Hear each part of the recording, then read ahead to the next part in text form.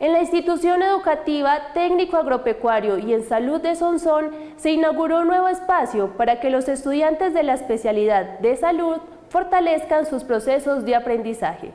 Con este nuevo espacio se busca desde los docentes e institución que el aprendizaje sea más didáctico y vivencial por parte de los estudiantes. Es un salón dedicado a la especialidad de salud, que como sabemos el colegio cuenta con dos especialidades. Entonces es un salón para que los estudiantes y toda la comunidad educativa puedan hacer uso práctico de él, ¿cierto? Eh, que los niños pequeños puedan estar acá, que quienes tienen, eh, ven el área de salud puedan venir acá a hacer sus prácticas y que también sirva de espacio para eh, ayudar y colaborar de pronto en atenciones básicas que la comunidad educativa requiera. Y tener como un mundo más cercano con cada uno de los módulos o de los conocimientos que se van adquiriendo en las clases. Contamos con un microscopio, por ejemplo, que proyecta hacia un televisor para aumentar el tamaño de las muestras. Contamos con material para hacer eh, prácticas de venopunción, para hacer prácticas de tomas de signos vitales. Esta aula es posible gracias a la inversión de la institución, padres de familia y estudiantes. Precisamente son ellos quienes ven grandes ventajas en él a la hora de las clases. En este salón experimental contamos con muchos elementos, pero ellos los podemos dividir como en tres subgrupos. El primero y el más importante es como el del servicio a la comunidad, que tenemos el botiquín y otros elementos.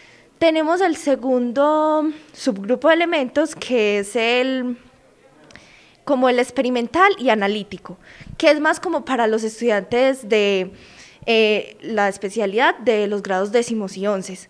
Y este pues tiene el microscopio, tenemos maquetas explicativas y tenemos muchos elementos que nos van a ayudar a desarrollar los ítems. Y tenemos el rincón de los niños que es un lugar muy importante porque desde ahí se fundamenta la especialidad en niños pequeños. Este salón le brinda a la comunidad educativa espacios de aprendizaje eh, que se pueden hacer pues por muchos métodos, que sería pues la más la más fácil y la más completa, que es por medio de la práctica.